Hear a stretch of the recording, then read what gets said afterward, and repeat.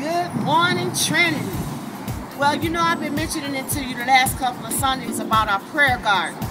But um, I just want to let you know that we're really making progress. And I just want y'all to take a look at what, what the garden ministry has been doing. Um, the Dunn family have really been putting progress into this um, and their love also into the garden. Now, what I need you to do is help me to help them out. I need I need someone, everybody, anybody. If you would just go, go to the flower store or go get some seeds and bring them in, and we're gonna plant them, and we're gonna we're gonna make this grow, and, and we're gonna let our kids work. Now later on, we're gonna have our other second, our second garden, and we're gonna begin on that. So I want you guys to debate and think on that. And you know, Trinity has been such a blessing. Let's be a blessing to Trinity. And let's make, make our community look beautiful and what it is. And we can just add on.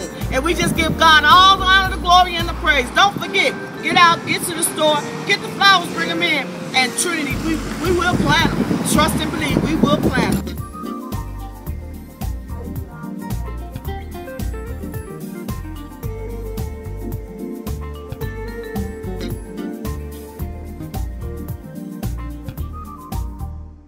So remember, teamwork makes dreams work.